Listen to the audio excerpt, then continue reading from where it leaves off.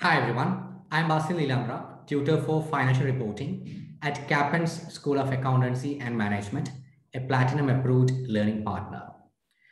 Most of you might be aware that there has been a small change in IFRS 15. The change was supposed to happen at a later stage, but ACCA has clarified that they're going to expect you to answer in this method. What are the change? The changes in IFRS 15, revenue from contract with customers.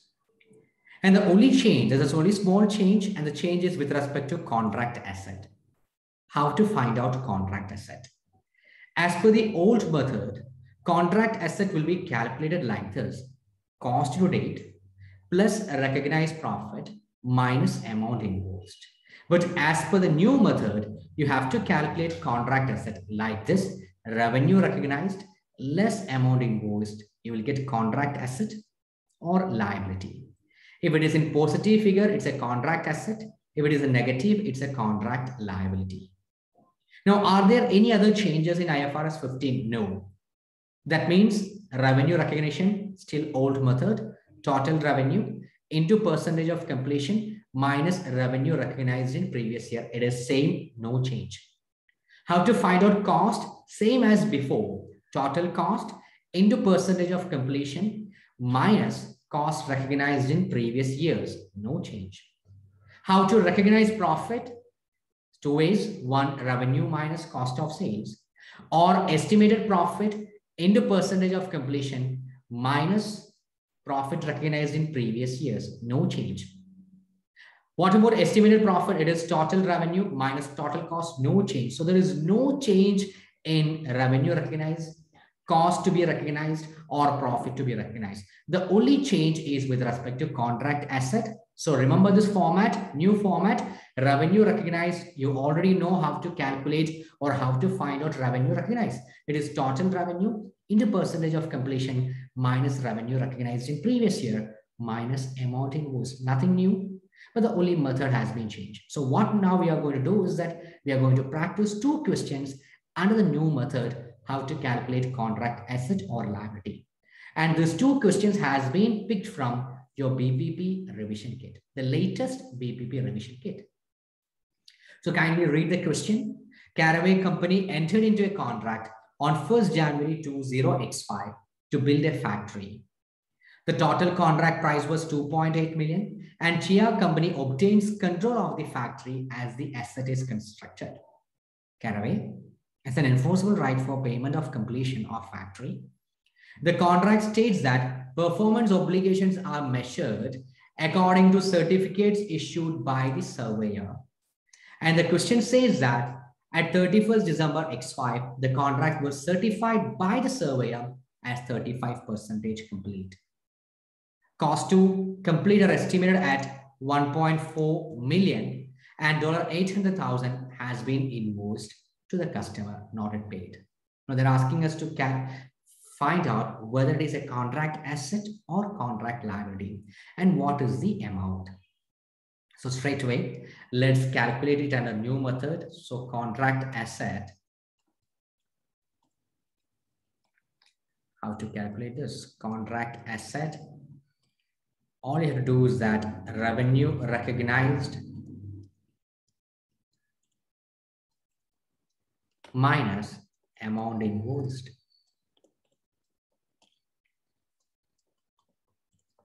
And amount invoiced is very clearly given 800,000 has been invoiced. Now, all we have to find out is revenue recognized. How will you find out revenue to be recognized? Total revenue into percentage of completion. Total revenue into percentage of completion minus revenue recognized in previous years. There is no previous year in this question because the contract was entered on 1st January X5 and they're asking what is the figure as on 31st December X5. That means contract was started in the current year. So basically there is no previous year. So how will you calculate that revenue to be recognized? Total revenue, that is total contract prices 2.8 million into percentage of completion is 35 percentage minus since there is no previous year minus zero you get 980,000 So revenue recognized is 980,000 minus amount invoiced 800,000. Since it is positive figure, we can say it's a contract asset. That's it, as simple as that. To get an idea of the new method, revenue recognized minus amount invoiced, contract asset or liability, let's do one more question to make sure you are confident on that. So going to the next question, again, this is also a BPP revision kit question. And again, once again, it's a latest BPP revision kit question. So from September 2021 onwards. If you have an old version, you will have almost similar kind of question, but it is slightly different. So make sure you have the latest revision kit September 2021 onwards. So question number 22. The company recognized revenue on the basis of cost incurred to date as a proportion of total expected cost. So in question number two, the questionnaire says that percentage of completion, the company recognized revenue on the basis of cost incurred to date as proportion of expected.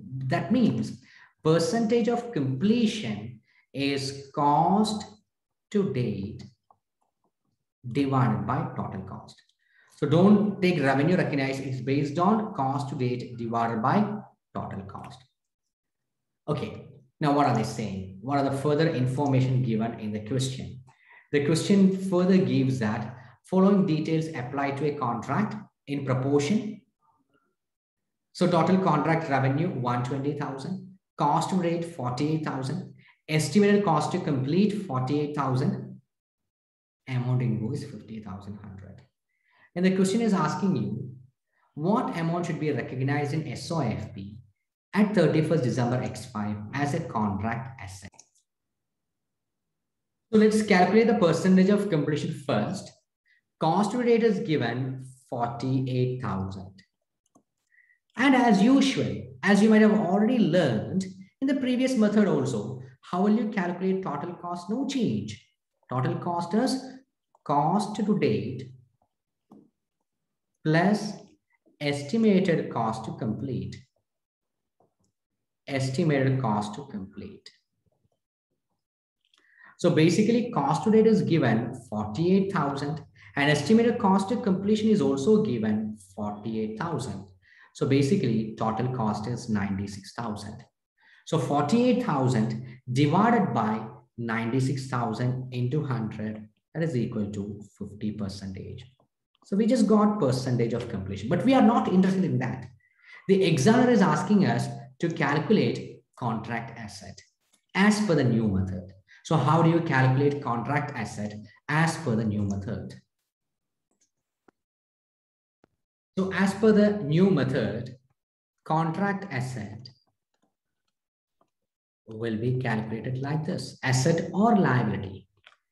It's revenue recognized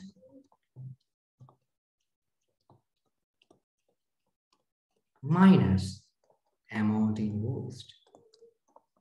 So amount invoiced is directly given in the question to be 50,400.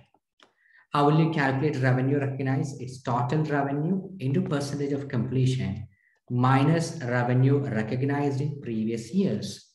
Is there a previous year? Absolutely no, because basically the company started in this year. So how will you calculate total, sorry, revenue recognized? Its total revenue 120,000 into percentage of completion 50 minus since there is no previous year minus zero. So basically 60,000 minus 50,400 is 9,600. Since it is positive, we can say that it's contract asset. Option A. That's all. So all you have to remember is that as per the new method, everything remains the same except contract asset or contract liability. The only changes with respect to contract asset or contract liability. And only thing that you have to remember is that how to find it out. It's revenue recognized minus amount invoiced. And revenue recognized, you already know there is no change. It's total revenue into percentage of completion minus revenue recognized in previous year. And percentage of completion, mostly the question will either give you a percentage of completion, like question number one, which they gave 35 percentage, or they will tell you how to calculate, like question number two, cost incurred to date as total expected cost. It's same as previous minus amount invoiced. So all you have to remember is that remember the new format, all everything remains the same. So thank you everyone. All the best for your upcoming ACCA examination. To know more about my classes, you can follow me at Learn with Basil Neelambra in my Instagram channel, or you can also follow Capens eLearn. Thank you. All the best.